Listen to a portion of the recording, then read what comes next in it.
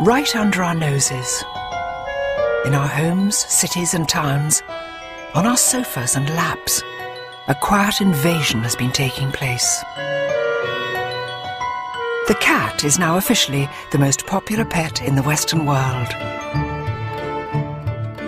In Britain alone, it's reckoned there are 12 million cats. A vast, softly purring army, which it seems we are utterly powerless to resist. And yet, for thousands of years, no creature has divided us quite like this one. Are they regal or simply cold and remote? Devoted pets or as irrepressibly wild as their big cousins? How am I to capture the essence of this puzzling creature, one that so many adore and so many others find deeply unsettling?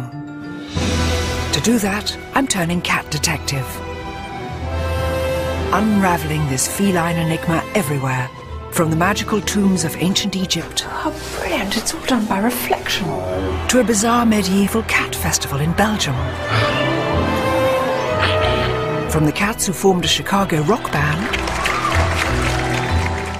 to a cat in fancy dress.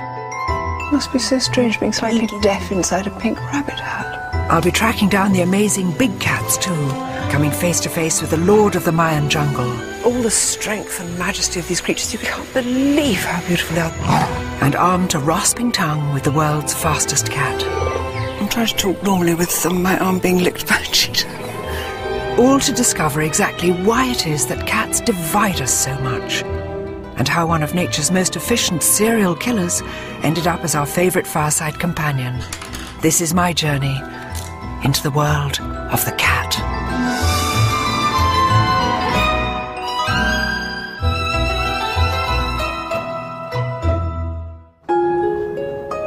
My journey begins here, at home, and it begins with a confession. We don't have a cat. Well, not anymore. For 18 years, we had a gorgeous cat called the Bee.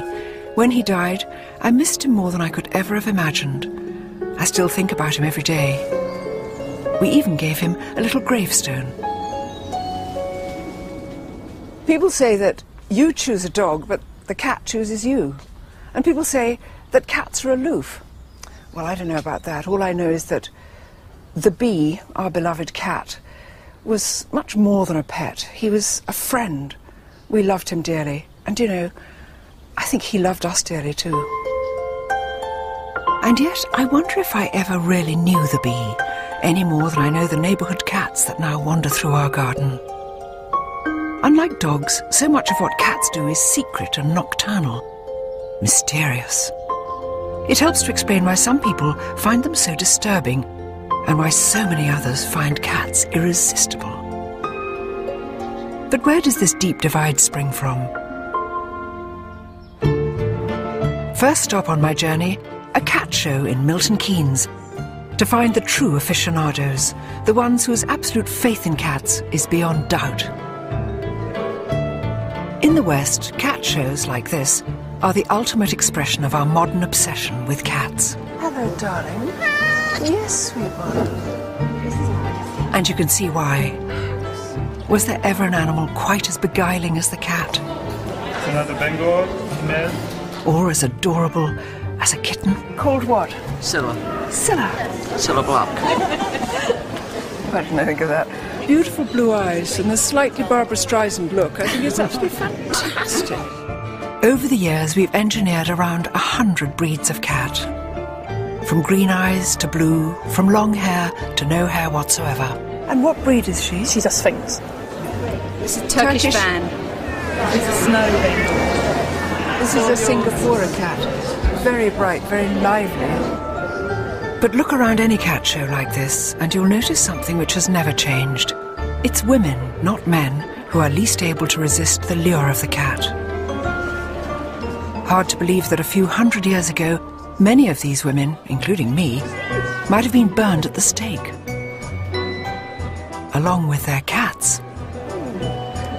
Because the terrible truth is, despite thousands of years of our deepest devotion to cats, there's a very dark side to our feline obsession. Thankfully, we don't torture witches and their cats anymore. But once every three years in Belgium, people gather to remember a time when we did.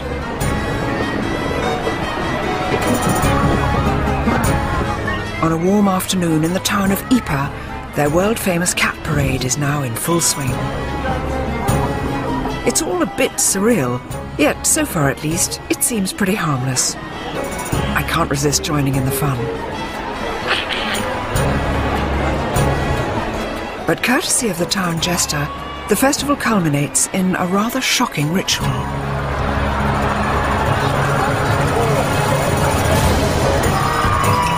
In Ypres 500 years ago, nine lives wouldn't have been enough for even the sturdiest of cats.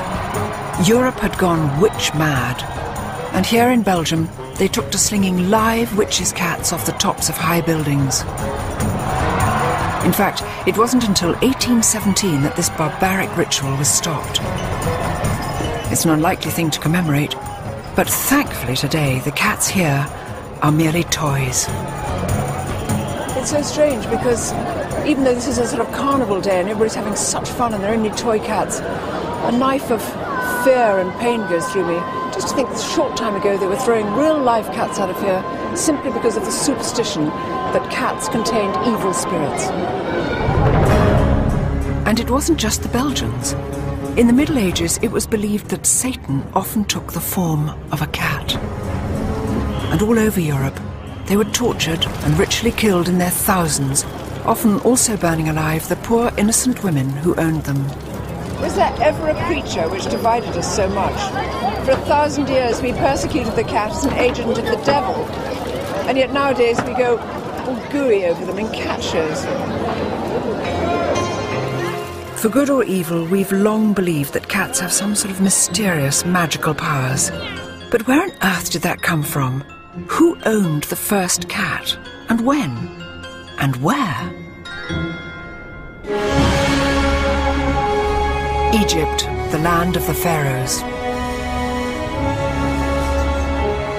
It was here, three and a half thousand years ago, that wild African cats first shimmied and sashayed their way into human company.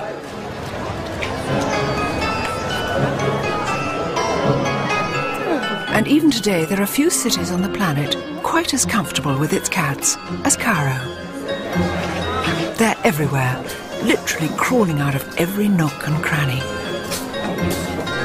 Once you tune your eye into look cat eyes, once you get your cat's eyes in, you can see little cats, tiny cats, slim cats, cats resting by mosques. These are the cats who are looking after the door. Just one on each side. These cats are mostly feral, homeless, unowned, just like their early ancestors. But for all their wildness, they're every bit as loved as the cats which pose for rosettes at shows. Perhaps even more so. It's just incredible how many cats there are and how many people treated them so kindly. This charming gentleman here who's got a special paper bag full of meat so that he can look after them and they're in beautiful condition, little dapperly patting away. It's just wonderful. The people don't kick them or hurt them, they just smile at them. But in a largely Muslim city like Cairo, that's really no surprise. It's said the Prophet Muhammad had a real soft spot for cats. There's a story that when he blessed his own pet cat on the forehead, he left the mark of his fingers like a giant M, a mark that's been passed down through countless generations of cats. But when and where did cats come to be with us in the first place? And how did they weave their magic on us? To find out, I'm heading way back in time to the mysterious tombs of the dead in Thebes.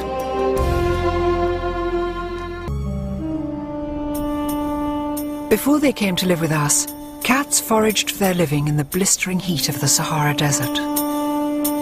Hardly surprising then that the rise of human civilization by the Nile seemed like easier pickings.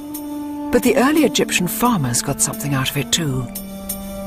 Grain silos attracted vermin, the vermin attracted hungry African wild cats, and before long, a rather remarkable relationship had been formed. A relationship first recorded in an extraordinary location.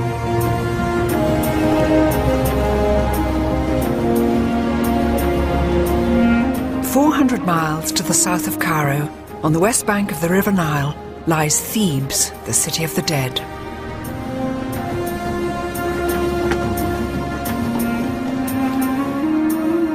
It's here that the ancient Egyptians buried their pharaohs and their aristocrats in lavish tombs. Salam alaikum.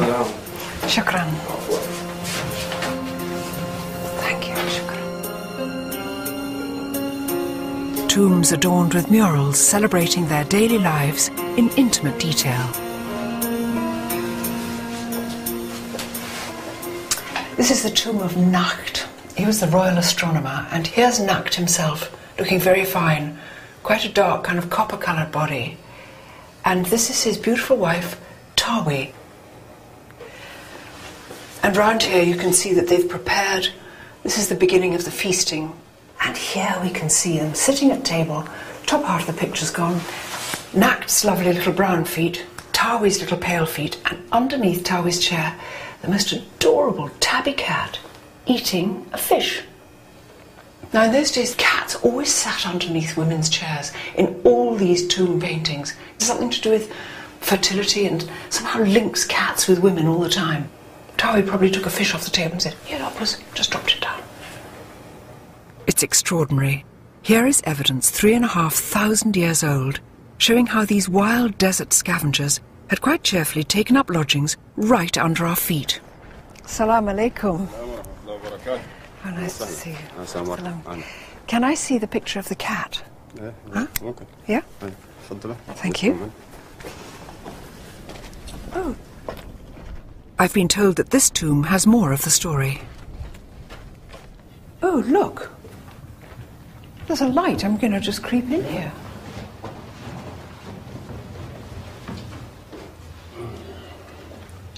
With a little mirror magic, all is revealed. How brilliant! It's all done by reflection. Oh, Look at this. So, this is a hunting scene. Now, there's birds all flying up, chaps throwing sticks at them. And here's a gorgeous little cat. There is a story that the Egyptians used to use cats, maybe to flush out the birds, but they used to take them hunting with them. They've also seemed to have taken their tame rat with them, I don't know.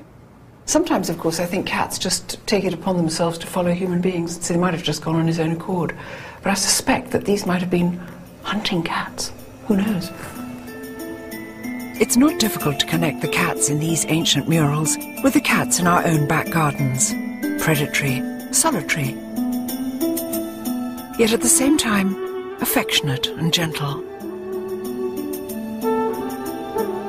And it's not that hard to understand what happened next either. Maybe it was the big eyes or the mesmerizing way cats move, but the Egyptians very quickly elevated the cat from beloved pet to divine god. A goddess, in fact, naturally. With both a serene face and a frightening face. A goddess whose cult would last over 2,000 years, longer so far than either Christianity or Islam.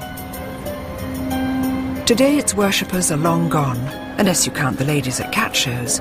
But here in the Egyptian Museum in Cairo, I can still see the evidence of this mighty feline goddess with two faces.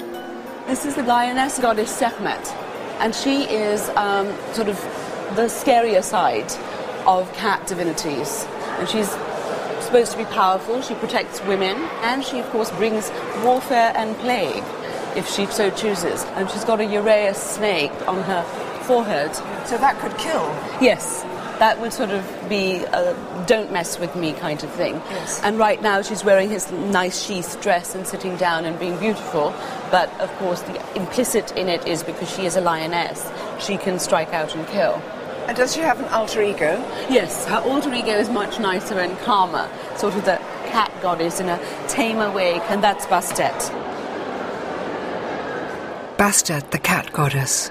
Statuesque, sublime, the quintessential cat. Bastet was the symbol of love and beauty and music and basically self indulgence, as you would expect from a cat. So, this is the kind of, of goddess a lot of people would be having in their house shrines. But look at these ones up here. These are just exquisite. They're fabulous. They're terribly lifelike. I've seen cats looking just like that. Do you like cats? I do like cats. I'm allergic to them, but I like them. In ancient Egypt, pet cats were adored. Whenever one died, the entire family would shave their heads in mourning. But not all cats were pets. There were other cats, bred to be offered to Bastet in the hope of earning her blessing. Unfortunately, unfortunately, to do that, they had to be dead.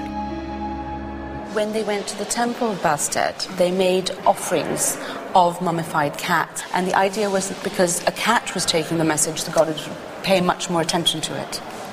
And were, they, were these tame cats or cats around the temple? How did they get the cats for the mumming? They probably bred them in catteries, and you would have just thousands and thousands of cats there. We have x rayed them so you get a sense of what's inside, and it's really quite surprising. Look at. What is a bit awful about this particular one is the neck has been broken because they couldn't always wait for cats to die. So we have some cat mummies where their heads have been bashed in or they're being strangled. Little cat. That one's an interesting one because um, Oh my God, what is it? well, you can see it's a jumble. When they didn't have enough cats, they would just gather up a few bones and mummify that and make it look beautiful, like a cat should be. So that's Extraordinary thing. This is sort of cat hamburger, if that doesn't sound too frightful. Do you know what I mean? It's sort of just sort of chopped up and made into a shape. that, that's very accurate, though, and it certainly looks that way. What's the Egyptian word for cat? Meow. Hmm. Is it? Because It really is. It sounds familiar, doesn't it? The cat with two faces cats as angels and cats as demons. Egypt is the home of the original prototype cat, the Mau, and whatever shape or pattern your pet cat is, it's descended from this ancient line of stripy tabby. In Egypt, the land where cats first walked amongst us, there are many who love them. But there are also others who are out to destroy them. Although in some countries Maus can fetch well over a thousand pounds a kitten, here in Cairo they still run wild in the streets. Unfortunately, some government officials think the only way to control them is by shooting and poisoning them. From a house in the Cairo suburbs, Maged Abdelrazek is on a mission to rescue them. Oh, now look, this must be one of the newest arrivals. Yes, this is our newest guest, Ida. Ida, how old is her? she? Yes, I do. She's about seven weeks old. Seven weeks old. Yes. And she was found? She was found by Yeah. a lady when she was about five days old, and I had to take care of her. You did this yourself. You fed her, what, with a little pen dropper? Yes, like about six or seven times a day. Well, she's triumphant. She's quite got a little fat tummy. She's overfed now. But tell me, what, what makes a Mau cat the Mau cats are the only naturally spotted cats. with striped legs? Yes, that's right. so they're half a leopard and half a tiger. Yes, it's a little tiger. Can take her home. Little. You wanna adopt her? Ida. I do like anything. I hope the Egyptian government finds a better way to look after these beautiful Mau cats. After all, this was the land where we first welcomed and then worshipped this strange, paradoxical creature. Three and a half thousand years later, are we any less torn and divided by this humble beast? Is there anywhere that still accords cats the same adoration as Bastet? Or still harbours fears about their monstrous powers? To find out, I'm travelling to the other side of the world, to the country where the cat is very definitely the queen bee. For an animal that sleeps up to 20 hours a day, it's truly amazing the fuss cats have caused. We've bowed before them as gods, we've treated them as devils. Surely in the 21st century, those strange beliefs must be a thing of the past. Well, not quite. On the face of it, Tokyo is one of the world's most high speed, high tech cities. But look in virtually any shop or restaurant, and you'll find the ancient spirit of Bastet, a little Japanese cat that's so famous it's been exported all over the world. Maneki Neko, the lucky cat, has one paw raised to beckon in good fortune. So, for most Japanese, cats are lucky. In fact, they're now so besotted with the real thing, the demand for pet cats here is one of the fastest growing in the world. I've recruited local cat lover Mary Corbett to help me explore a city where the feline obsession knows no bounds and where no self respecting cat should be caught naked.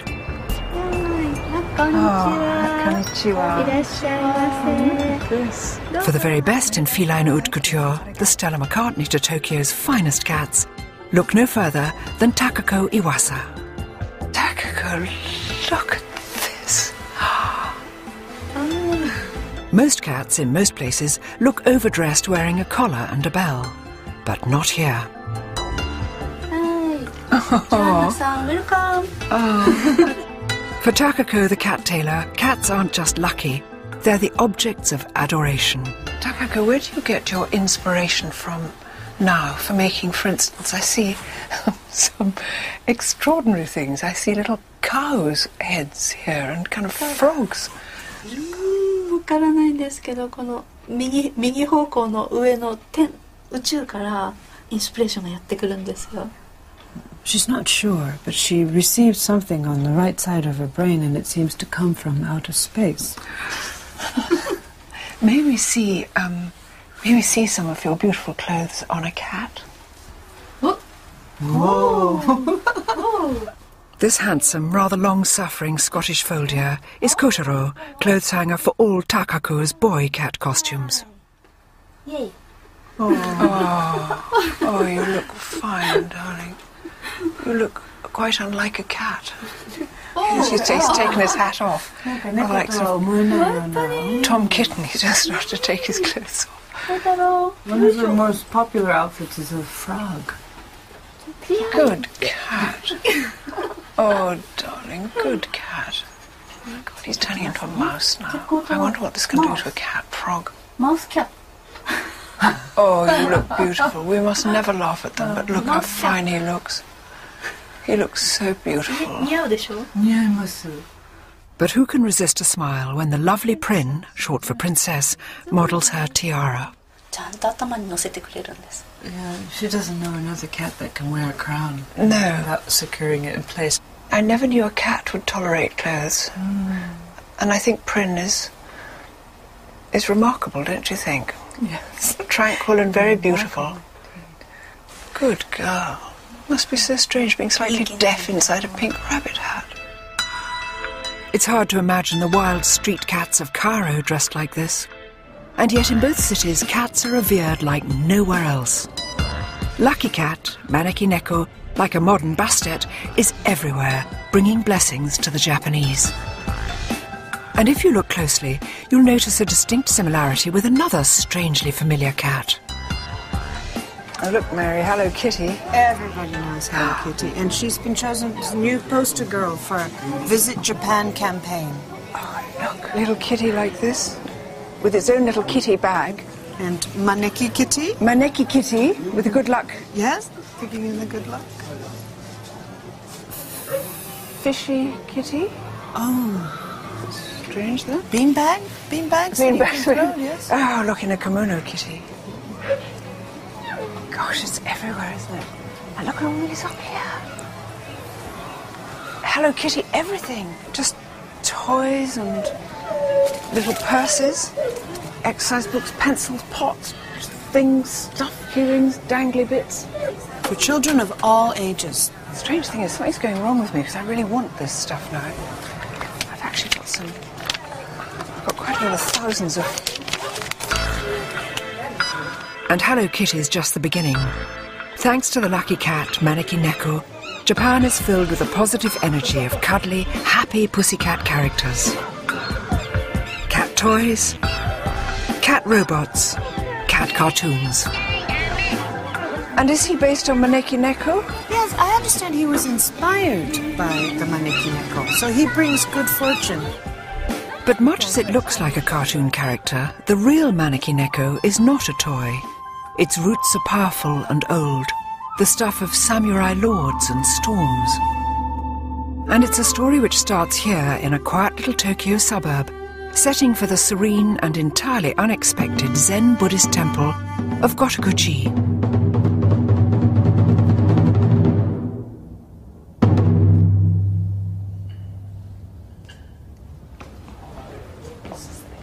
The true guardian of the lucky cat legend is the head priest of Gotokuji.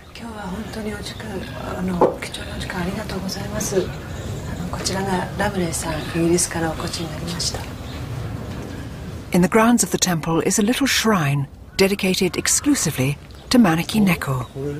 Show of good then. Show of good end. So mm. this is the building that brings good fortune. Mm. lovely. It's beautiful. The real Holy of Holies, the Lucky Cat's altar, is hidden inside the little temple.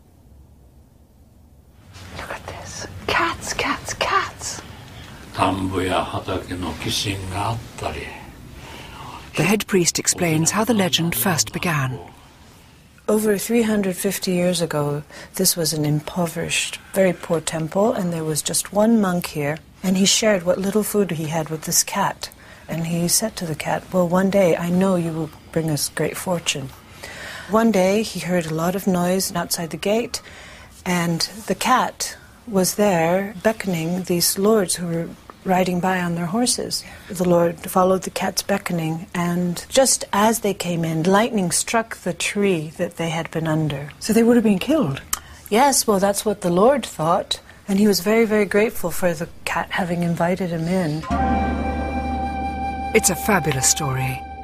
You can see why the Japanese took Maneki Neko to their hearts, always in the hope it would save them from disaster too. Look at these cats. From all over Japan, pilgrims travel here to seek the blessing of the lucky cat.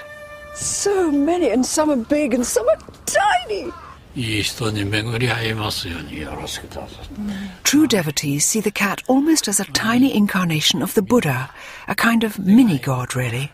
So, worshippers would purchase these cats and then they would pray that they may meet good people in their lives. When their wishes come true, they will bring the cat back to the temple and offer thanks.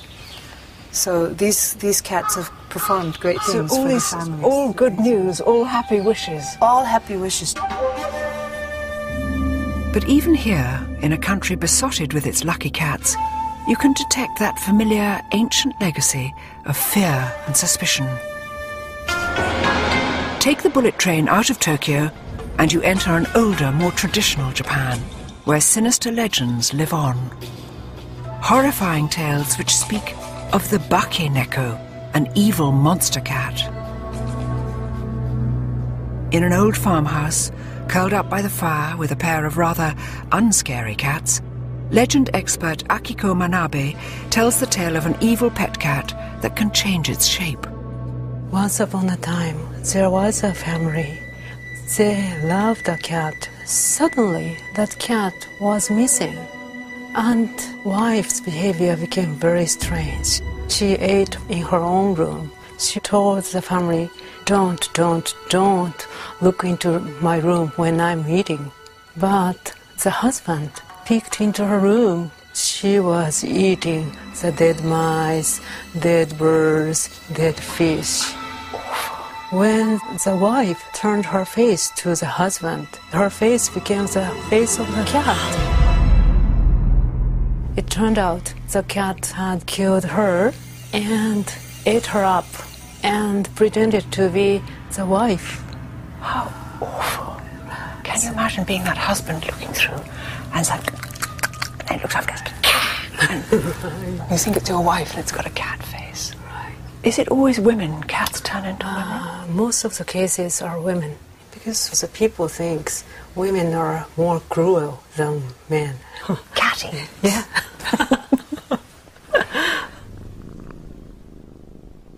It seems there's such a contrast between the happy, smiling cat who brings you love and luck and this darker side. The Bake Neko cat, which turns into a monster. It seems that even today, we're not quite sure if cats are good or evil. I know what I think, but who knows?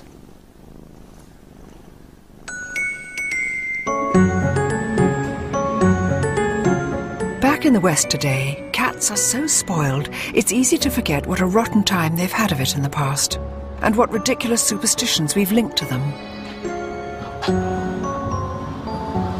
Know about witches' cats and black cats crossing your path, but that's just the beginning. Back in the old days, they were routinely flinging cats out of belfries. They used to say that a cat could suck the breath out of a sleeping baby, and that to eat the warm brains of a cat would make you invisible. They said that planting a live cat in your garden would keep down the weeds. We've forgotten now, but for hundreds of years, we used to be terribly cruel to cats. Ever since the pharaohs, we've been unable to agree about cats. And we still can't really decide whether to love them or loathe them.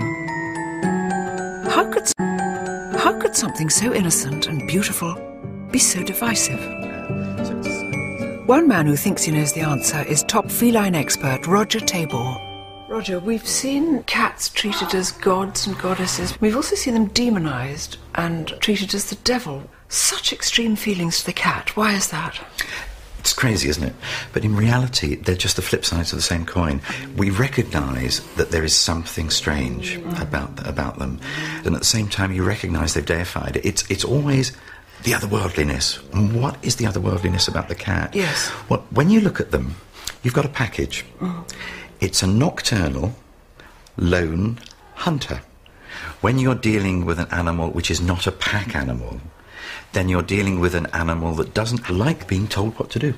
With the dog, you are either the boss or you are bossed. But with the cat, it thinks it through for itself. It's much more independent. So we've always been a bit wary, a bit distant. We hmm. understand that they are somehow other, somehow wild, somehow strange. The solitary hunter lurking within. The irrepressibly wild feline heart. Is that why we find cats both inspiring and perplexing? If it's true, then my challenge now is to meet the full force of that wild side, face to face. Hidden deep in the jungles of Central America lives the ultimate mysterious solitary feline. Just like the cats of Egypt, Europe, and Japan, the mighty jaguar both transfixed and terrified an ancient civilization. Unfortunately, this great cat is paying the ultimate price for our fear. Rollover Labradors and rollover Cocker Spaniels. In the 21st century, the cat is the new top dog. Globally, there are now over 200 million of them living in our homes. And yet, on this journey, I've learned just how deeply cats divide us. It seems it's their solitary nature which is to blame. But is this the same spirit our cats still share with their wild cousins? The Mayan jungle in the heart of Central America is home to the world's most elusive big cat, the ultimate solitary hunter. Centuries before the arrival of the domestic cat, the Mayans worshipped the jaguar with the self-same mixture of fear and adoration. But actually finding one is a serious challenge. If anyone can help me, it's Mexico's top jaguar conservationist, Gerardo Ceballos. Before we begin scouring the jungle for this mysterious beast, Gerardo's brought me to an ancient ruined city to get a bird's eye view of the enormity of our task. So this is one of the largest one. Look at that. It's immense. It's huge area. It's probably the second largest in the Mayan world. Calakmul, once a metropolis of 50,000 people, flourished for over 500 years. By 900 AD, this civilization had collapsed, and with it the cult of the jaguar, as the Mayans abandoned their cities for good. So, Gerardo, tell me about the cultural connection between the Mayan people and the jaguar. Well, in Mayan mythology, jaguars were very powerful spirit living in the forest that could cause you damage. On the one hand, may hate the jaguar because it's killing their cattle and their goats, but on the other hand, they really respect it. It's a mixture of like a mystical respect, but also a lot of fear to the jaguar. It must have been extraordinarily um, elusive to see because somebody said that seeing a jaguar is like seeing vapor, like a mist. You, you're staring at it exactly. and you don't know if you're seeing a jaguar. Respect and fear. It sounds so familiar. That same ancient response to the cat, mirrored here with America's top jungle predator. Wow! Look at this. Aye, aye, Very aye, aye. impressive. So everything is like a probably 1.5 million hectares covered by forest. But you can't see, apart from these ancient pyramid sort of buildings, there's, n- there's not another There is building in- not a single person inside here. in living. 360 degrees, all the way around. Nothing, nothing. Nothing. It's dense forest now. But a thousand years ago, the Mayans destroyed their own way of life by greedily chopping down the precious trees they needed to sustain life. God, this must have been strange. A treeless metropolis. Exactly. When the Mayas collapsed, it was more on the local or regional uh, impact. Then lots of the species, like the jaguar, they were able to move to other areas where there were forests and survive. What is happening today is that we're destroying all the forests, you know. So the jaguar is in danger and it may be it disappear. Yeah. And If we cut it down now, they've got nowhere to go. Exactly. I'll do whatever it takes to look one of these big cats in the eye, to see if I recognize the wild heart that beats inside every domestic cat, even if it means getting up at three in the morning. We know less about the jaguar than about almost any of the other big cats, and that's because they're so hard to see. And they're so very shy. But this morning we're going to have a very good shot at finding one. We've got a bunch of dogs and a bunch of men here to see if we get lucky. Gerardo and his team are on a mission to find and study as many wild jaguar as possible, and hopefully figure out why these great cats are dwindling so dangerously in number. Do the dogs get excited before we go? Yeah, they, they want to go. They want to go. Early morning before the sun rises is generally when jaguars are most active and easiest to spot. And even here, nothing beats a dog when it comes to running down cats. They're being tied by the chains into the back of the van so they don't all jump out. They're peaceful and sweet and waggy and they just look so friendly. But I think that'll all change once we get onto the scent. Timing is everything. There are just a few weeks every year at the height of the dry season when conditions are good for finding jaguar. Too much rain and the jungle gets too flooded for tracking. Well, the daylight's up now, so what do you think? Yeah, well, it's it's still very cloudy, so it's good. It's overcast, and by being overcast, yeah. it helps us to work longer time during the day because we don't have the pressure of the sun on the dogs, on the people, and on the uh, jaguar. So right now it's perfect. That's it. At a remote river crossing, Gerardo decides it's time to begin tracking on foot. We're going to look around here Yeah? for, uh, for the scent, okay? Okay. To see if we can pick it up. Okay. Perfecto. Uno. I think this is good because I heard that jaguars like to hunt near water. And amazingly, jaguars quite like swimming. Of all the big cats, jaguars and sometimes tigers, but jaguars are most fond of the water, which is unlike any domestic cat. Hates getting wet. Excelente, excelente. Vale, mi cuau. And yet, in so many other ways, jaguars and domestic cats, in fact, all 38 members of the cat family, are incredibly alike. Designed by nature as perfect killers. Razor teeth and claws hidden inside, velvet paws so soft you'd never hear a thing until they were right on top of you. Gerardo, what happens when the dogs get the scent of a get the scent of a jaguar? What what happens then? They will start to howl and uh, bark really, really, really uh, uh, loud. And then we, will- we will release them. And then all of them will start to run. Then the jaguar hopefully will climb up at the tree. Yeah. We will arrive and dart it, put it back here, and then do all of our work of measuring it and uh, On the forest on the floor. forest floor, Yeah. taking blood samples, uh, uh, all kind of uh, information that we need from that animal. Better catch up. Yes. After a few hours, it becomes too bright and too hot, and our chances of finding a jaguar drop significantly. There's no scent. Very disappointing. We don't have it around here, uh, apparently. So we will keep on trying to, to find it. But for today, at least, the jaguar hunt is over.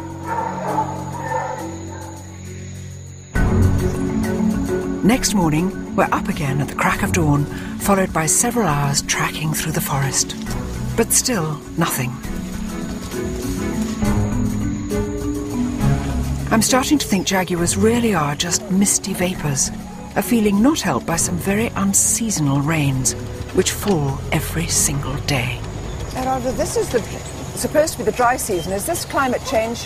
Because it shouldn't be as wet as this now, should it? No, we have some uh, unusual uh, rains. It's not uh, actually typical that to have any rain. After several days of searching, I'm still no nearer my first jaguar. It seems my luck has run out. I just can't believe it. This is supposed to be the dry season, and it's turned out to be the rainiest of rainy seasons. And we've been going out with the dogs and tracking and waiting and looking and doing every possible thing you can think of. Didn't appear, not one sign, not one sniff. So we're just going to have to call it a day. Feels strangely like England. It's Mexico.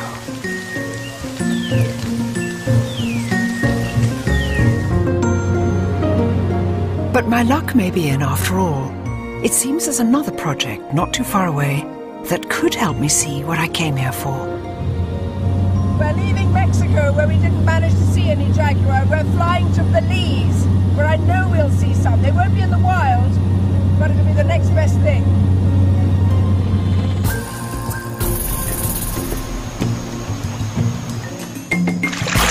A hundred miles as the parrot flies, in another part of the same Mayan jungle, is Bowden Creek Ecological Preserve.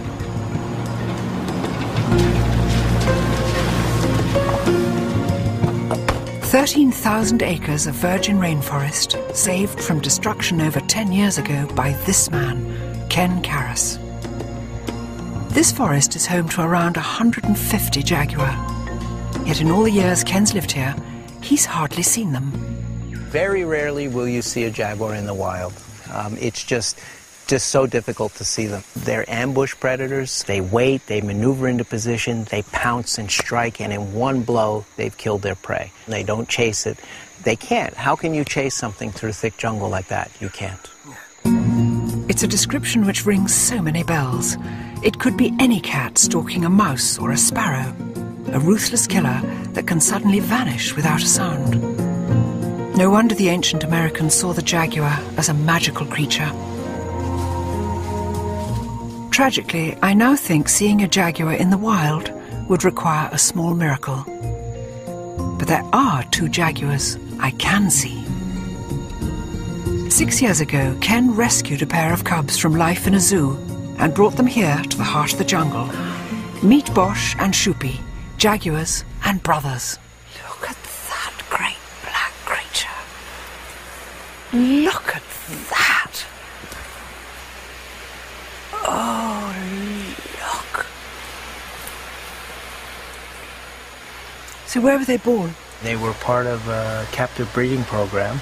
And um, instead of going to uh, a typical zoo in Mexico, we decided to bring them here to help with uh, getting people to understand conflicts with jaguars in the area. Ken, there are going to be people who say huge cats like this shouldn't be kept in an enclosure. Well, they can't go into the wild, can they? No, uh, you, you know, they would not be able to survive. They don't know how to hunt. Some people might say, well, maybe we can train them like we train cheetahs or others to go back wild, but we don't know enough about them.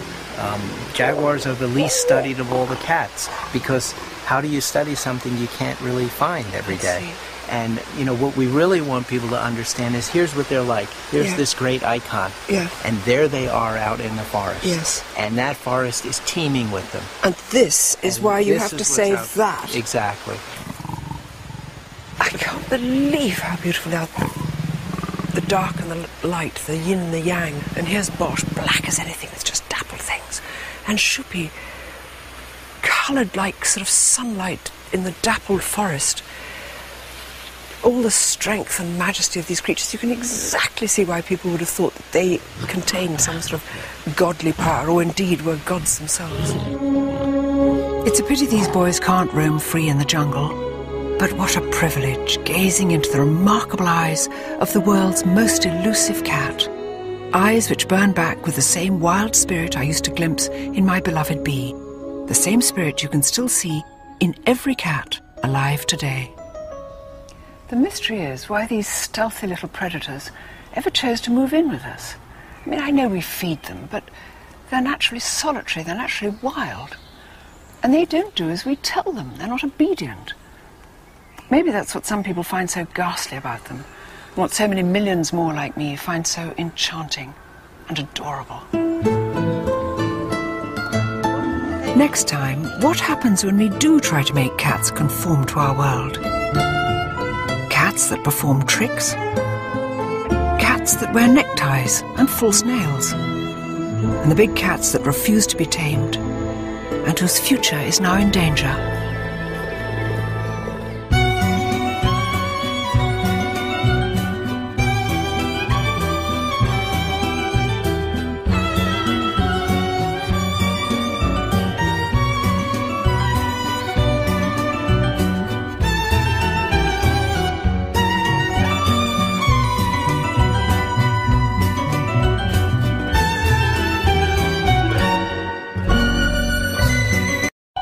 There are more pet cats in the world than ever before. Sensual, cute, enigmatic, stealthy. Every one of them working its wild and ancient magic on our senses. And yet, as I've already found on this journey, cats still perplex and divide us. My quest to understand them has already taken me from a mysterious Egyptian tomb to a breathtaking encounter with the lord of the Mayan jungle. I've learned that inside every cat lurks the same wild hunter spirit, and that's despite nearly 4,000 years in our company. But sadly, man is notoriously bad at leaving nature alone. And so I now want to know what we have done to the cat to mould it to our way of life, and whether our meddling with nature has gone too far. It's a question which will take me from a close encounter with the tongue of a cheetah. No, we are that lovely raspy To the cats who formed a rock band. From the woman who knows how to talk to them Yeah, It's all done. We won't even know what to do with them. She's just starting to speak in cat language. to the tragedy of a leopard locked in a cupboard. She put him in a closet, and that's where he lived all day long. I mean, how he survived that, I don't know. I want to discover whether all is well with one of nature's most enduring partnerships between cat and man, or, of course, woman.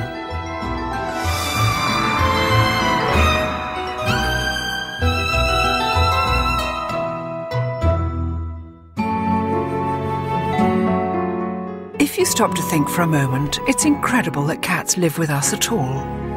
Under the genetic microscope, they've barely changed from the wild, solitary creatures that once roamed the Sahara. Back then, there were no cat packs, no cat herds. It was a true loner until it found us. It is the weirdest of relationships.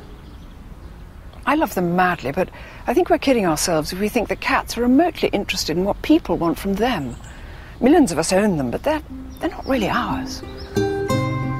After all, they don't really need us. They could look after themselves if they had to. But that doesn't mean we've stopped trying to master them, which begs the question would a cat ever take orders from a mere human? To answer that, I'm in Chicago on a bitter winter's day. It's been said that cats are far too smart to do the dumb tricks we get dogs to do.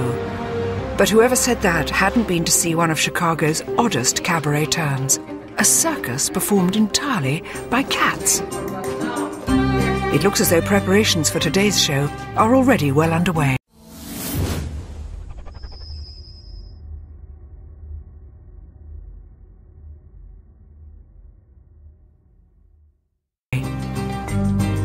For the record, I usually have little time for performing animals, any more than I have for zoos or wild animals in captivity. But a cat circus intrigues me. Cats are so famously uncooperative. I'm curious to know how ringmaster Samantha Martin persuades them to do anything at all. Hi, Samantha. Hi. Hi, Joanna. Hi, nice to meet you. You're getting stuff ready for the show? Yep, big show today. This so- little white face listening to you talking. Who's this? Oh, this is Tu- Tuna. Tuna. She's the star of the show. Is she? Mm-hmm. Hi, Tuna. Tuna. what makes Tuna such a good cat for performances? Uh, she's she's very consistent. She has no fear issues whatsoever. Where some of the other cats, uh, some days they perform, sometimes they don't. It's free will. You know, we open up the cage. If they don't come out, that means they don't want to come out. So we close the cage. We move on to the next trick. But Tuna always wants to. She rang the bell. I'm sorry, that was the cat ringing the bell. Tuna, will you ring the bell? Yes, she's like, attention, attention, come on. Here, Tuna, go back to your light. That's quiet. Tuna, she's just switched the light on. Sweet cat. Oh, Tuna is, is brilliant. She really is. How do you get a cat to do what you want it to do? I can see you're giving her small, small rewards. Oh, yeah, it's a lot of it has to do definitely with they, the, a special treat. You can train a cat to do to, about just about anything you can train a dog to do, but then where a dog will just be like, I don't care if I only have two breaths left. Whatever you whatever you want from me, I'll give to you. And cats are like, eh, you know, I don't think so.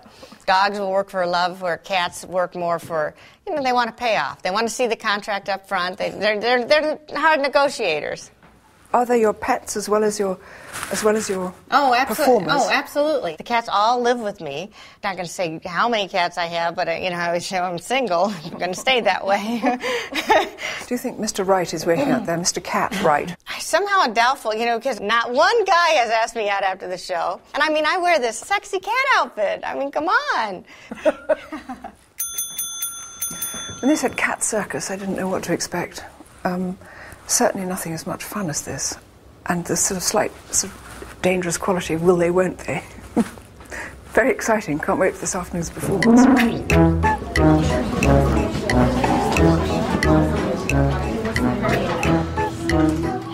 Does it matter that your average cat won't fetch a stick or catch a ball? No, of course not. To me, this is much more impressive.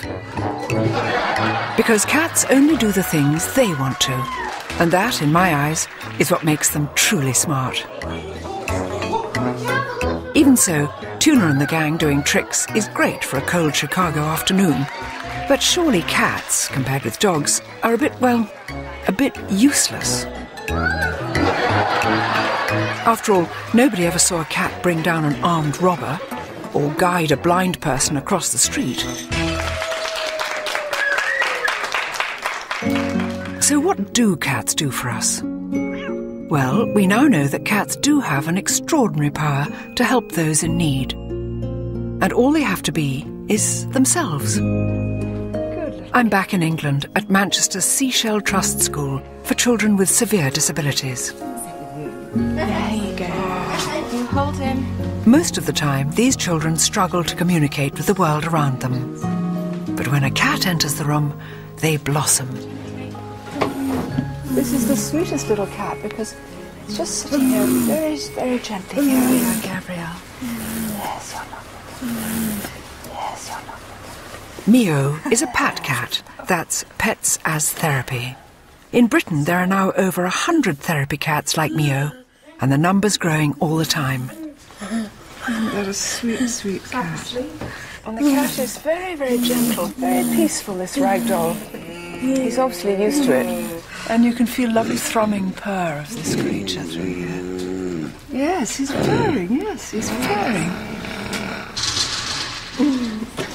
There you go, Jamie. You got the cat? And you can see the enjoyment. The faces light up when they have the animals in.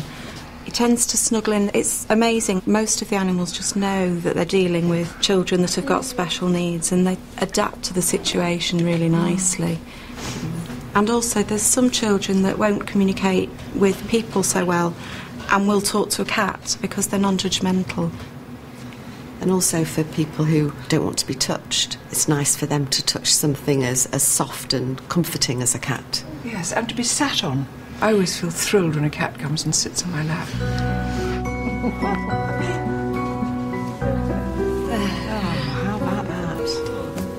It's deeply moving to see how the warmth and softness of a cat can stir such pleasure in these children. That's lovely. Thank you.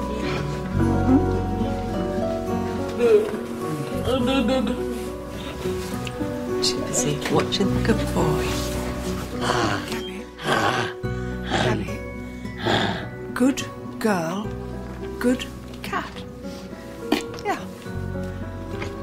Did that make sense? No, I didn't say it right. Yes. Did it? Yeah. Good.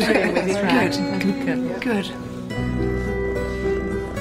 Surely anyone who's ever stroked a purring cat can understand this.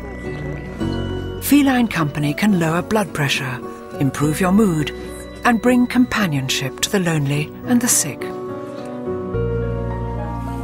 But if cats can change our lives, how have we changed theirs?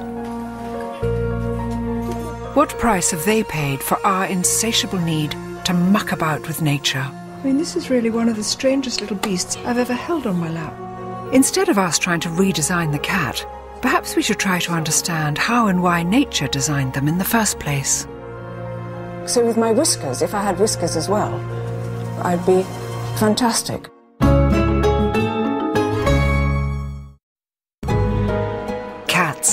Our favourite 21st century companions. But keeping a cat as personal stress buster is quite a recent thing. For thousands of years, we used them almost exclusively for one job, and one job only pest controller. And for that, they were supremely designed by nature as one of the world's most efficient killing machines. What is it that makes a cat a triumph of evolutionary engineering? That's something I can now literally see for myself, thanks to the pioneering work of scientist Alvaro Cassinelli and his peculiar invention, a cat's whiskers headset. Alvaro, will you explain this extraordinary headpiece? Well, it's um, it's a mask that gives you the ability to sense the space around you, like uh, having cat whiskers. Of course, you don't see them because they are made of light and motor vibrators. So when something gets close to you, Yeah. it start vibrating. The, the, the closer you get, the more vibrate. Should we put it on? Yeah, that's right. It looks a bit Hannibal Lecter, but you know, very- Yeah, I like the look. It's to be used in the dark, so nobody will see you. Perfect. That's okay. You Good. look beautiful. So now uh, I will just switch on the motors. Are you ready to have superpowers? Oh, don't. Oh, God. Oh, God, how weird. I- yeah. The mask is sending everything wirelessly to this computer. So up, try to approach your hand or, uh, yeah, over your mouth. So this is That's the in front sensor near your mouth. Oh, oh. This one. How can I try it out? Well, we will try that on the corridor. A cat's whiskers are the most incredible bits of kit. They're so sensitive to tiny air currents and electrical fields, the cat can sense objects even without touching them, and in total darkness. Now, I'm going to find out what that feels like. This is a very strange feeling. So you're now you have to walk in front of you till the end of the corridor. Yeah. Okay. So first whiskers on, and then let me switch the lights off. Tell me when the light's off. They are off now. Back in the lab, Alvaro monitors my every move. I can't see a thing. I can feel the buzzing. Right. And I mustn't use my hands. The temptation, of course, is to use your hands. Oh, I can feel something very close to me there. So away from that, away from that. That's a big thing there. I get away from that. Something there. Nothing here. Come on, be bold, Lumley. I can't tell you how frightening this is. If you could hear my heart, it's absolutely hammering. At last, it's lights on, and not a moment too soon. You get lost. You don't know where's the, your direction, where, where you're You don't know aiming if you've Is that all? Is, that, all? Yeah. Also on the elevator, you get stuck there and there. I didn't go into the elevator, did I? No, no. Yeah, you went to the four, fourth floor and you I came back. no, you get had a cup of coffee and I it. No, it was strange how frightening it was. It's strange how odd. I've got a long way to go to be a cat. Of course, when it's stalking a bird or a mouse, a cat has plenty more weapons at its disposal, not least of which is an incredible sense of sight. From just tiny slits in the day to massive moon eyes at night, your pet cat is a whopping six times more sensitive to light than you are. And with the addition of a natty pair of light intensifying goggles, now I will be too. Too many things to adjust. Okay. So it should be. Tell me how it feels. That feels. the line of sight. Yeah? That's good. Okay, so we'll probably switch the light off and we'll see. Oh, I see. see the lights on. Oh, Yeah, wow. so it's, so it was clever. too easy. What about now? Oh, uh, Now I cannot move, I don't see anything. Okay, but I can. So, okay, now this is me walking with cat's eyes as opposed to cat's whiskers. I have no sense of distance, but here I come. Look, not touching the trees. That's not bad, is it? Oh, this is fantastic. So, with my whiskers, if I had whiskers as well, I'd be fantastic. And I've a feeling I even might look slightly like a cat. Do you feel that? Wow. That was extraordinary, Alvaro. It doesn't really make you feel like a cat, but maybe. It doesn't, but it makes me respect cats so much because, of course, they have all this absolutely inbuilt and they know exactly how to use it. I was a complete beginner, you know, but they know perfectly.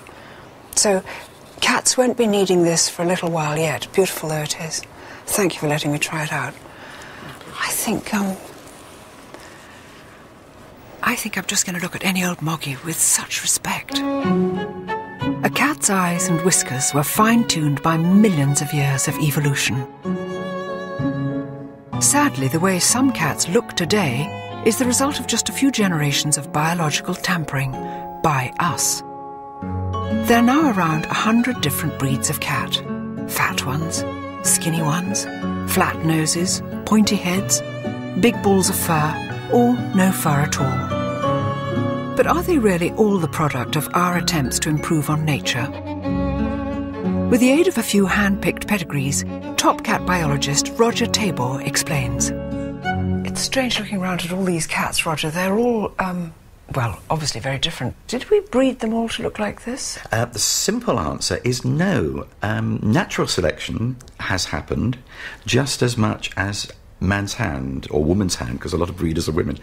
For example, in a hot climate, you will find by and large lighter cats, slimmer cats with shorter coats. When you move away to the chillier north, there's this whole group of really heavy built long hair cats that evolved, and then some of them, of course, we've changed ourselves. But in a funny way, they're all roughly the same size. And yet, dogs, when I think of things like a Chihuahua and a Great Dane, why is there such a difference in the size of dogs and really not so much in the size of cats? Dogs are different because through the centuries, dogs were selected for jobs. Yeah. So you had big dogs doing big jobs and Yeah. little dogs going for yappy down holes and things as opposed to ripping things apart. With cats, there has not been this selection pressure by us to get the animal working. Because all we really wanted them to do was to look after our grain, didn't we? Absolutely. Mice and rats was our, was our cat target. And, and they come as one size, so, So as long as the cat can get can them. do that. And therefore, actual positive breeding in the way that we do it now is very recent. We've been doing it to dogs for centuries, and now cats are fast catching up. By playing mix and match with genetics, we're designing ever more exotic shapes and sizes. But how far are we prepared to go? For some of the world's strangest experiments in cat genetics, there's only one place to look America. I'm heading for an encounter with a munchkin. That's a cat. In fact, it's the feline equivalent of a dachshund.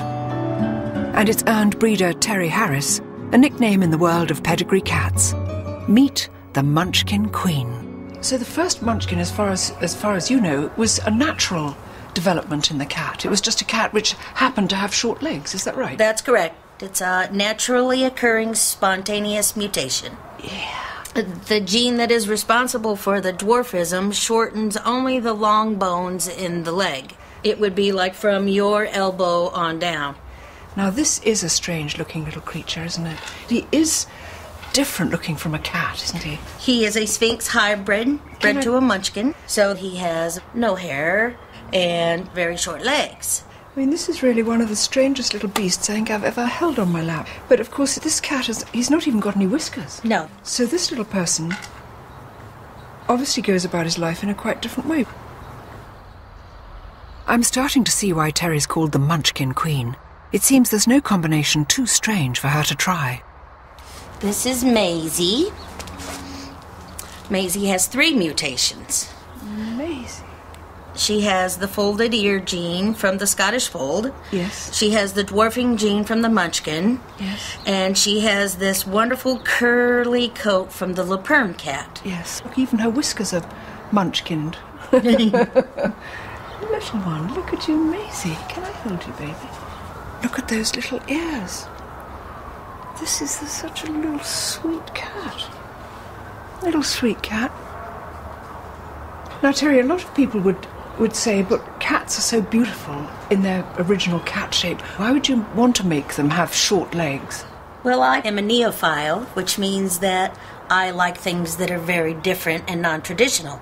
I just think that they're just adorable. They're comical. They come in all different colors short hair, long hair. And, and just from the moment that I saw one, I just had to have it. This, this mutation doesn't bring about any kind of illness, does it? No, they they don't have any limitations other than perhaps the distance that they can jump. Now I'm a short woman; I can't jump as far as a tall woman, but we jump nonetheless. Is it right? Do you think you're playing God? If I felt that I was doing something wrong, I would not do it. No. I think that as long as the cats are healthy and happy, there might be a little something for everybody. I do worry that we're taking things too far. If this is the Dachshund cat, what on earth comes next? A Chihuahua cat? A Great Dane cat? Is nature's work so unsatisfactory that we must constantly meddle with it? Next stop, the cat being made to look like a lion. Handsome man. Hi, Romy. And the lion someone wanted to behave like a cat. Just living in a basement. Living in the basement. People are extraordinary.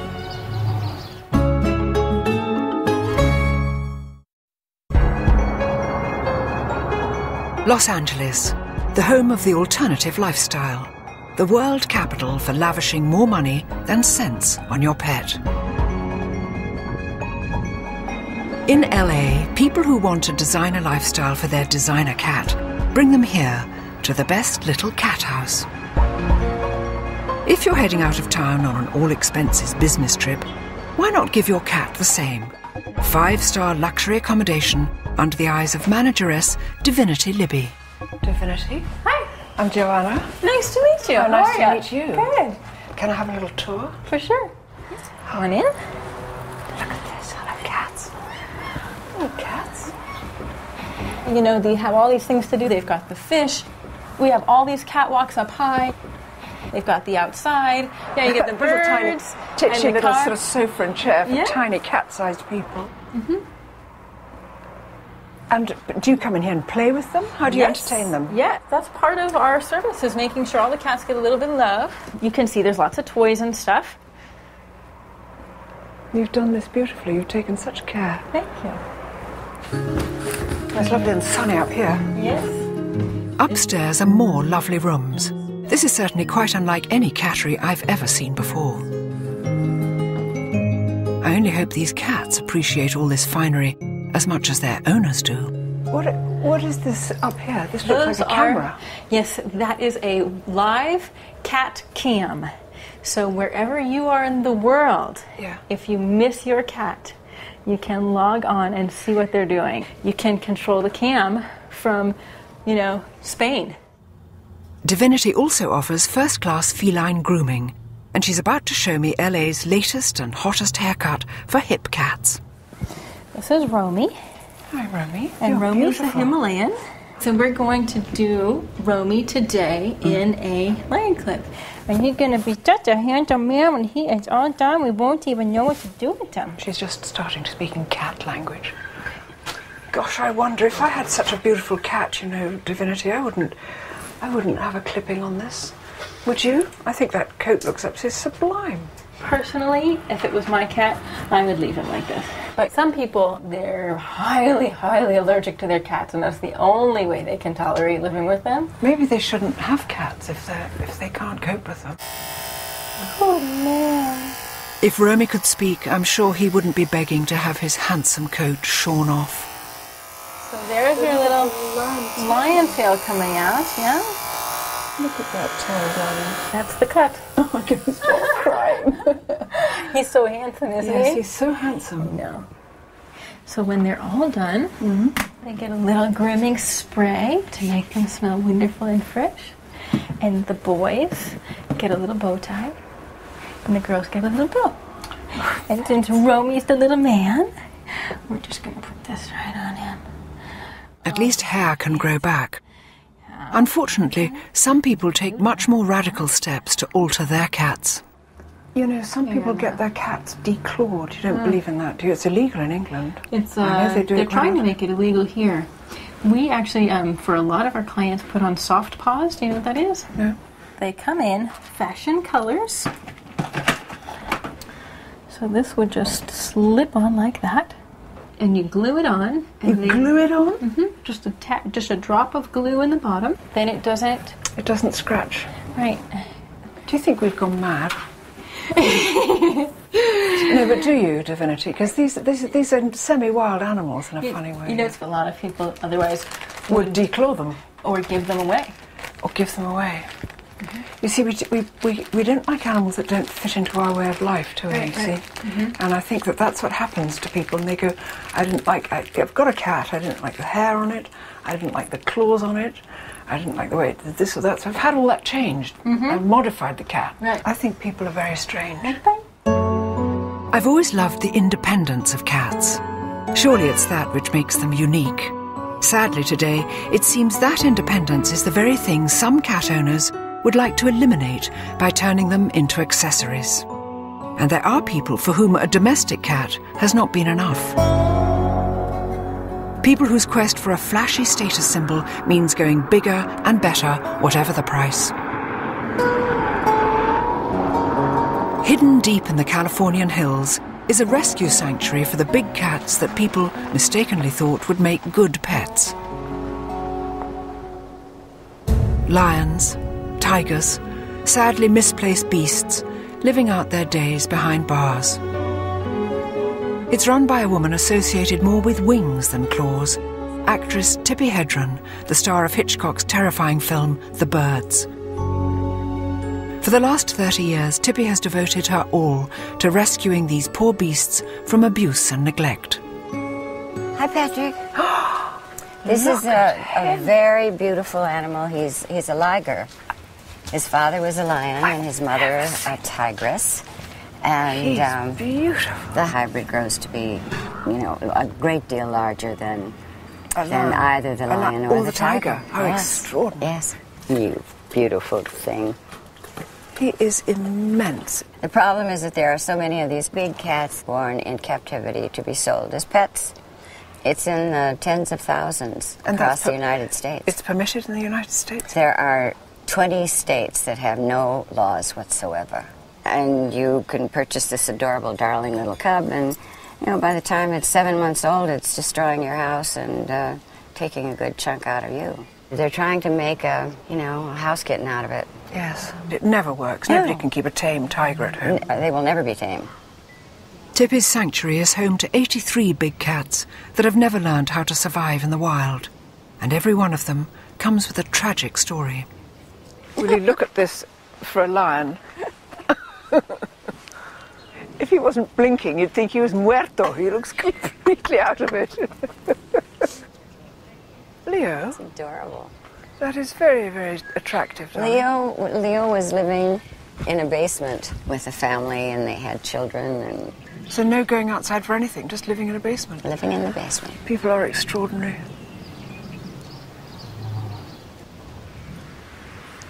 This beautiful black leopard was uh, purchased in Texas for $6,000. And um, as he grew, he was scratching the lady's satin sofas and chewing her Jimmy Choo's shoes. So she put him in a closet. And that's where he lived all day long. And finally, they brought him in a zippered clothes bag in the trunk of their car. I mean, how he survived that, I don't know. It must be very difficult to know when to draw the line because you must want to rescue every animal in need, but you've got a limited amount of space and A limited amount of money. limited amount of money. Yeah, what do you it's? A, it's so huge that I can't even think about how we do it. People say, How do you do this? How do you manage this whole thing? Because it's emotional, it's maddening, uh, it's frustrating, it's um, a, a constant worry. Of, It's 24 7. yeah, it is 24 7, 365. Even celebrity pets are not immune. When a certain superstar's mansion hit the rocks, these two beautiful tigers ended up here without a single cent of support money, or apparently even a phone call to see how they are. There are some terribly sad stories which have brought these creatures here, but Yes, now that yes. they are here, this is truly a sanctuary. It's the kind of Garden of Eden you've made for them here. Uh, yes, and uh, it's a lot of work and a real labor of love. For the and I, and I love these animals more than my next breath, but they're not pets. No, that's true. They're wild. And you can't take that out of them. Man really can be very poor at knowing how to live with nature. And yet we do have this ancient compulsion to share our homes with animals. I'm visiting a cat rescue sanctuary in South London to discover what happens when that compulsion gets out of hand.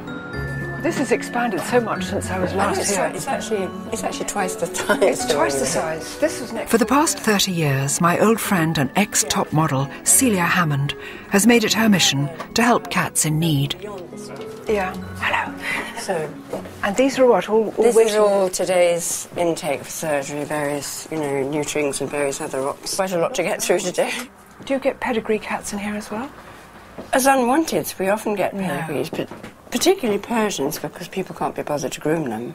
They buy them as little cuddly babies, and then when they grow up and need to be groomed, they get fed up with it. So they come in here completely knotted, or their legs knotted together. They can hardly walk, some of them.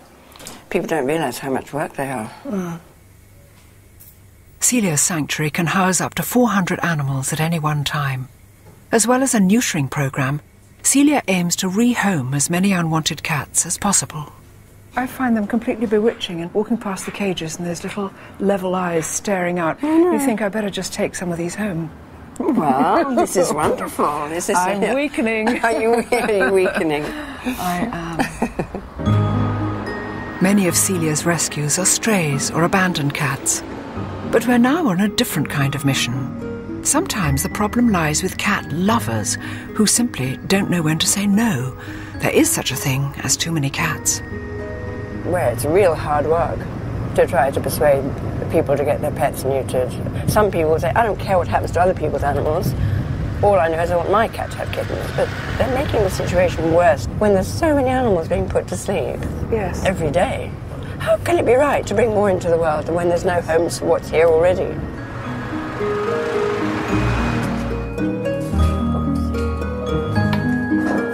We've come to meet Valerie, whose collection of cats is not going down too well with the neighbours. Hi, Valerie. Hello. Hi. Hello. Hi, Hi, Valerie. How are you? How nice, to, see you. Oh, look, you've got a little person here. Yes, it's so cute. This one. Called what? Oh, I'm giving it a name. You haven't yet. got names. No, it's a baby.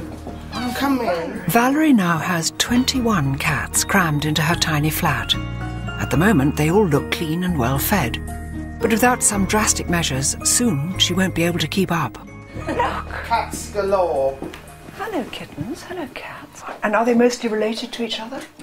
Yeah. They're all one big family. One big happy family. But Valerie, look, you absolutely love cats, don't you? When did you fall in love with cats? Can you remember? I love cats from when I was a little girl, really, you know. But uh, I started off with one cat. And my one cat had five kittens. And I got that cat done. But the kittens now, I didn't know how young they had start off with having kittens. And uh, it's accumulated, you see. This is like that thing of uh, when I was going to St Ives, I met a man with seven wives. Seven wives had seven cats, or seven seven cats had seven kits, and suddenly it just goes out and out On and out, and on, yeah, but I'm having no more kittens now. I can't afford them. They eat a lot. So what do you, what are you going to do? You're going to get them neutered? Yeah, I will be getting them neutered. I've got two neutered already. Was it three? But um, Celia's very helpful in that section there. We're going to get them all down, Valerie, aren't we? Yeah, need to get them All all of- done. it makes 'cause I sense, can't take doesn't no. it? Yeah, they eat more than me. What I do feel they- sorry for myself in the supermarket when I look. It's all cat food. I hope people don't think it's for me. I think Valerie simply hadn't realised how quickly the numbers would explode. But for some people, and strangely enough it's nearly always women, compulsive cat hoarding is now a real and recognised clinical condition. What's happening? They're canoodling down here. Hmm? They're not muted yet, and they're canoodling. Canoodling. Hmm? Stop it. Valerie, I think we've got to stop the canoodling eventually, haven't we? Because Yes, too much canoodling too and you'll much suddenly have canoodling. No, I won't. 4,000 I'll be cats. slim. I won't be eating anything. With two more of Valerie's cats off to be neutered, hopefully this particular cat family will stop spiralling out of control. It's all right, darling. We've been seduced by the cat, by the untamed heart it shares with its big cousins. It's a privilege to live side by side with them, but with that comes responsibility. And that's true whether they sleep on our sofas or simply walk on our land. Next stop, the ultimate wild cat country, Namibia, This is just staggering. It must have been like this since time began. where I'm about to come face to face with a cat we're in danger of wiping off the face of this earth. I hope you like flies. I don't mind flies.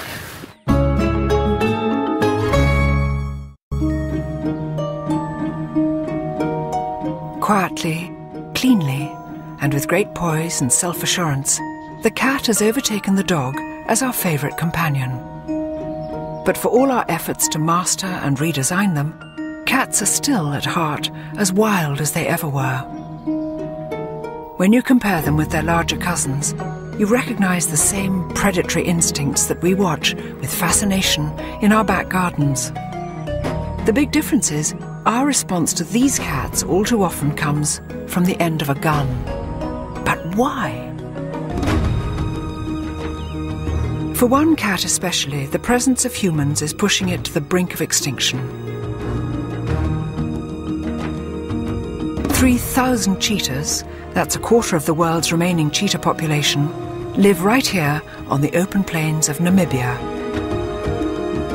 This country is the front line in a battle to save them. And local conservationist Dave Houghton is a true veteran of the fight. I'm heading skyward with Dave to get a clearer picture of the thing that's brought man and cat into bitter conflict the land itself.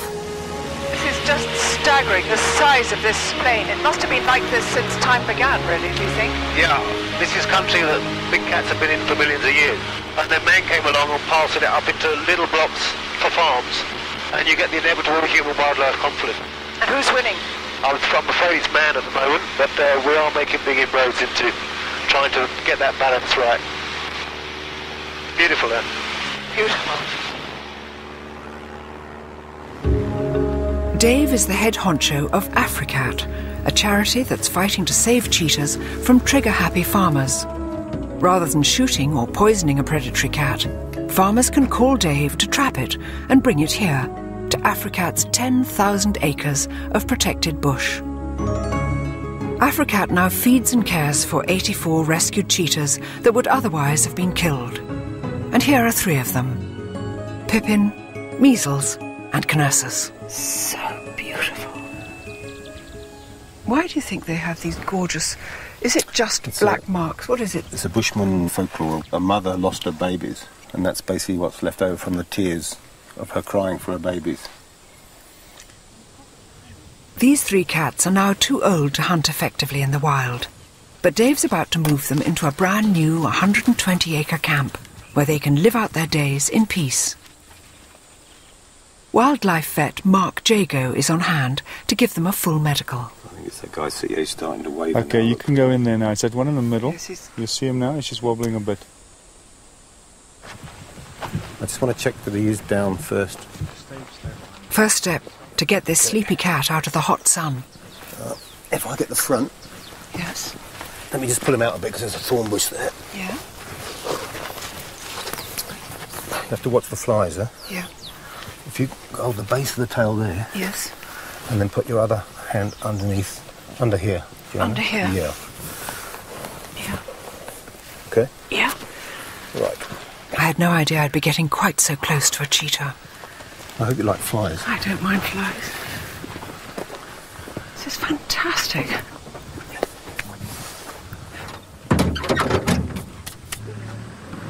Next, we head off to the clinic for a full health check. We're going to start here with the eyes. Check the eyes out, make sure there's no injury, anything like that. And uh, you can see how the pupils are incredibly clear. 100%. Right. To make myself useful, I've agreed to some heavy duty grooming. I thought I knew how to detangle cat fur, but this is different. Golly, some of these are pretty much in, aren't they? Yeah. What do you do? You scrag them out. You No, will, no, won't you, no, like no, a butcher. just, uh, like that. Oh, I see. It's funny how quickly you feel completely at home. You think I'm just combing a cheetah's tail here, just scragging out the dead flies and the burrs. I've only ever seen these things on film, you know. I think respect is the first word that comes to mind for mm, these creatures, isn't it? Whenever possible, Africat releases rescued cheetahs well away from the farms where they were captured. But sometimes the young, the infirm, or in this case, the elderly, become too dependent on us to survive on their own in the wild. Which is such a shame. Well, tell me, an animal like this, which does 80 miles an hour, how can it ever live a, a natural life in captivity? It can't, can it? So you can keep it groomed and healthy and Sure, alive and everything, but, absolutely. but Yeah. it wouldn't be living like No, a cheetah. No, and I think it's something we've got to recognise. That, you know, as much as we try and improve the conditions in captivity, what we really are working towards is looking at the animals healthy, happy, and conserved in the wild. Yeah. Um, because that's where they should be. It's reassuring to know there are projects like this. But it's depressing to encounter yet one more example of mankind's inability to live and let live, especially where cats are concerned. Phew. Once our three patients have recovered from their drugs, it's time to release them into their new enclosure. Me? Dave's wife, Carla, lends a hand. Just gently stick your fingers in the hole. Are we ready? Yeah. yeah. Ready? Hang on. I'll normally just put my fingers half in the hole because then you get a bit of leverage. Yeah, yeah. Okay? Okay, go. Okay. Out of that like sort of rocket. It's kind of quite frightening because as you put your fingers just there, there's this sort of excited head comes banging up, and without being too sort of scaredy cat, you sort of think, I don't want to lose the fingers. Too old to hunt they may be, but now Pippin, Measles, and Knursus will have plenty of space and protection from the gun.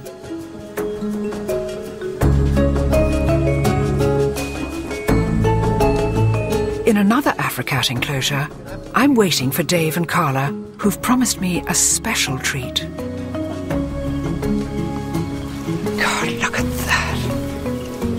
That's wonderful thick purring sound. Hello, darling. Come on, we can spend later. Sit in the shade. Come on. Pugsley and Gomez. Rescued as tiny cubs when their mother was killed by a farmer.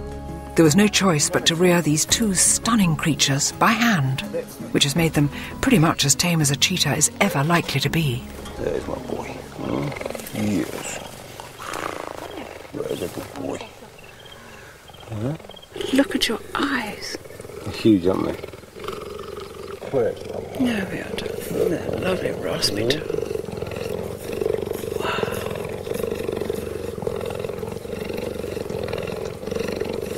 That's lovely, darling.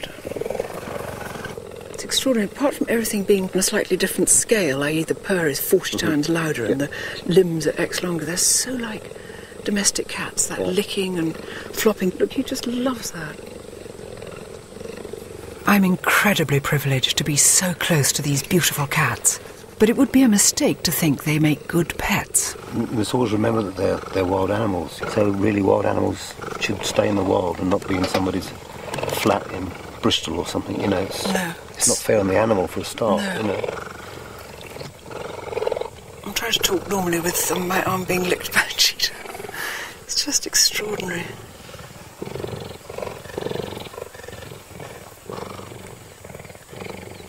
This is so good of them to come and. To, uh, well, there we are. Just like a cat. But to, to do that graceful thing of welcoming a stranger was very nice. I've seen and held and been licked by so many cats on this journey. This cat is so much bigger, but in a way, it's no different from any of them. The throbbing purr, soft fur, needle sharp teeth, the faraway look in the eyes, and the calm that comes from the presence of something so free and untamed, just like our cats back home.